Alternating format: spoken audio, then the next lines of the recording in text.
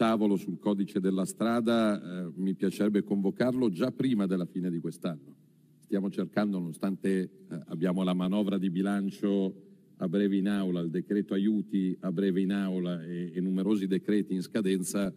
se riusciamo già settimana prossima, perché chi ha tempo non aspetti tempo, un tavolo per l'aggiornamento del codice che abbia gli enti locali, quindi i rappresentanti dei comuni e delle polizie locali, quindi l'ANCI, e poi due ministeri, oltre a quello dei trasporti, nodali. Quello agli interni, eh, penso alla polizia stradale dal punto di vista della prevenzione e della repressione, eh, però anche quello della scuola. I dati che ascoltavo mi dicono che è fondamentale portare l'educazione stradale eh, sui banchi quantomeno delle scuole superiori come informazione,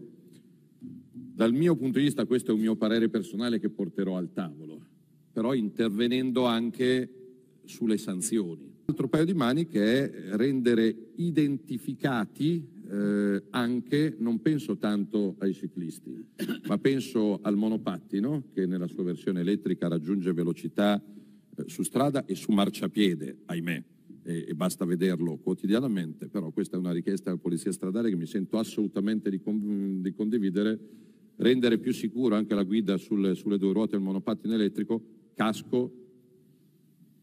targa, chiamiamola come, chiamiamola come vogliamo, perché non ci può essere impunità.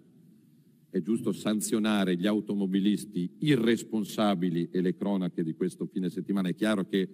non sali su una macchina in sette, tu, tu questo, su questo puoi fare l'educazione stradale che vuoi, puoi mettere la prevenzione che vuoi, però questo mi sembra eh, oggettivo. Eh, qualcuno però si ritiene impunito. Ecco, permettere l'identificazione anche per chi utilizza a sproposito alcuni mezzi che sono pericolosi sia per chi guida eh, sia per chi, per chi è, è, a piedi. Io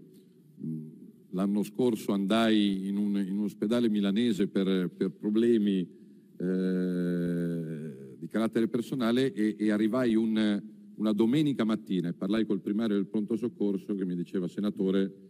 eh, qua il problema dell'alcol non è solo sulle auto.